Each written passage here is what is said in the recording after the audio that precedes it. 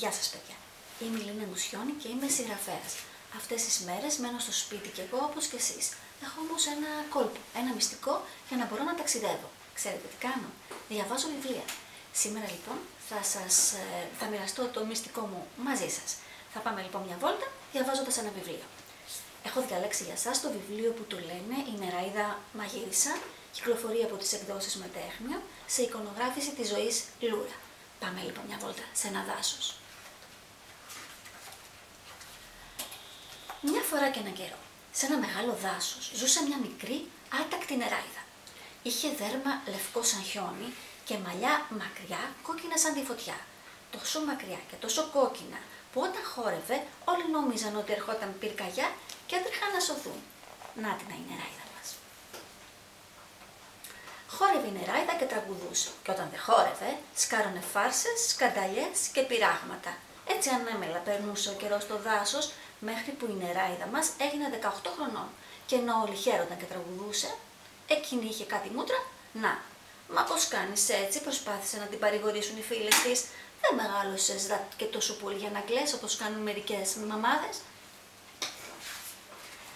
Δεν κλαίω γιατί μεγάλωσα, αλλά γιατί πρέπει να φοράω αυτή την κουρτίνα, είπε η νεράιδα και έδειξε το μεγάλο μαντίλι της.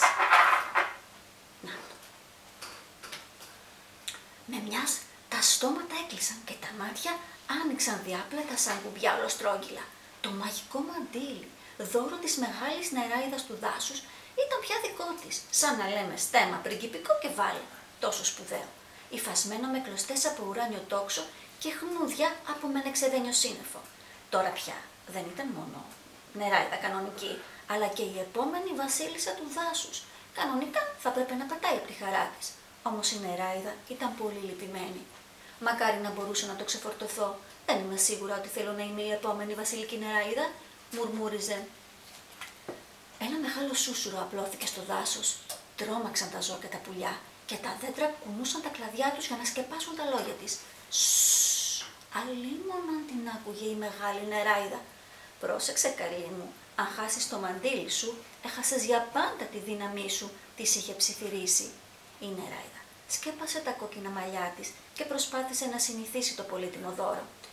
Το φορούσε ακόμα και στον ύπνο της.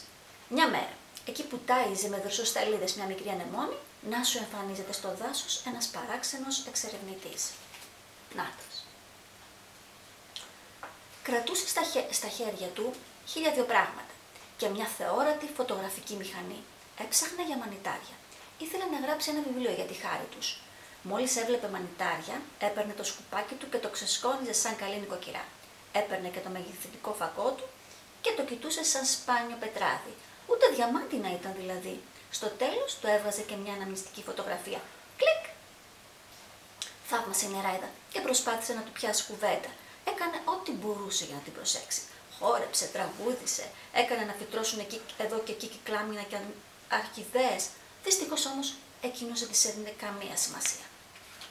Τόσο ασήμαντη με πια. Τι περισσότερο έχουν τα μανιτάρια από μένα δηλαδή, αναρωτήθηκε. Κλείστηκε λοιπόν σε ένα κούφιο καρύδι και έκλειγε την τύχη της. Λίγο ακόμα και θα πνιγόταν στα δάκρυά της, αλλά ευτυχώς κατάλαβε τι είχε συμβεί. Ήταν αόρατη. Το μαγικό μαντίλι την έκρυβε από κάθε ανθρώπινο βλέμμα. Αυτό σημαίνει άλλωστε να είσαι νεράιδα.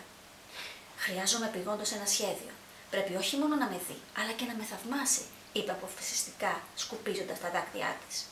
Παράτησε λοιπόν γρήγορα τη στενάχωρη κρυψώνα της, να είναι εδώ που κλαίει μέσα στο καρύδι της, και έτρεξε στη βιβλιοθήκη του δάσους, εκεί που άλλοτε περνούσε μόνο από μακριά και μάλιστα έβγαζε και τη γλώσσα.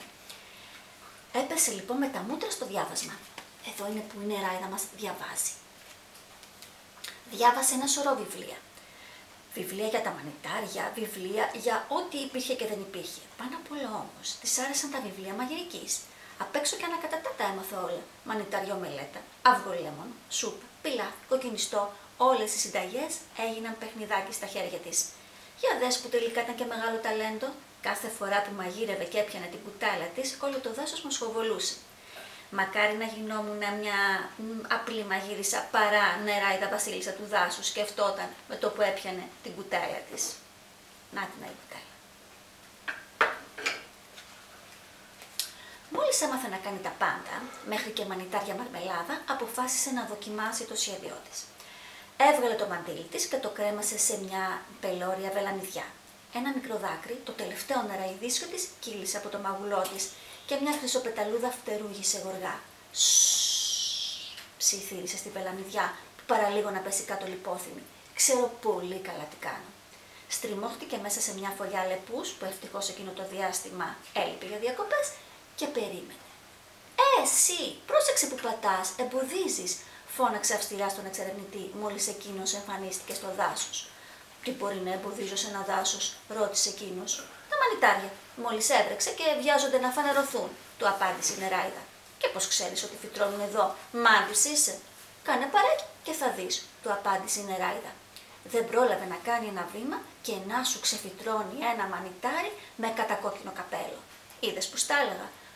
Παραλίγο να σκάσει το καημένο.